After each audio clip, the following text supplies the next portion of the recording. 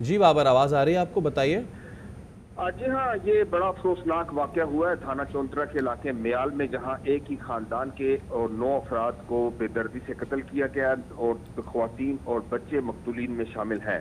यहाँ S S P operation Tariq Walayat का ज़िक्र किया जाए तो ये तकरीबन जब से ये वाक़ हुआ है थाने हुआ ये उस इलाके में मौजूद है और उन्होंने तहिया किया था कि मरकजी मुलजमान को गिरफ़्तार करेंगे और यही हुआ कि जो मरकजी मुलजिम है, रब नवाज़, उसके दोनों बेटों समेत चार मजीद मुलजमान गिरफ़्तार किए गए हैं। यूँ छह मुलजमान अब तक गिरफ़्तार किए जा चुके हैं और एक मरकजी मुलजम दानिश ने खातन और बच्चों को कत्ल करने का एतराफ़ किया और उसने कहा कि इन्होंने मेरी वालदा पर फायरिंग की, उनको कत्ल किया, मैंने बदला लिया। तहाँ पुलिस ने इसको हाई सिक्योरिटी जोन के एरिया में रखा हुआ है और यहाँ रावलपिंडी मुंतकिल किया गया है।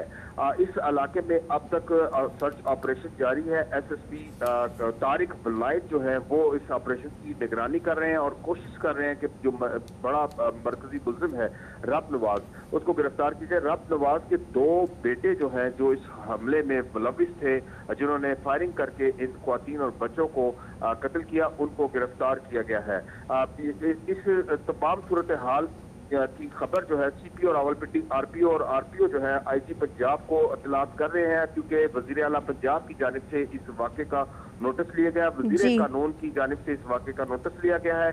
गाय बगाए इस मामले को देखा जा रहा है और अब दिया दिया गया है मजीद तहकीकत भी की जा रही है इस केस की। बहुत शुक्रिया आपका बाबर। अमेरिका से बेदखल किए गए सौ से ज़्यादा पाकिस्तानियों को आज अमेरिका से पाकिस्तान रवाना किया जाएगा। सिफारती जराये के मुताबिक वापस भेजे जाने वाले ज़्यादातर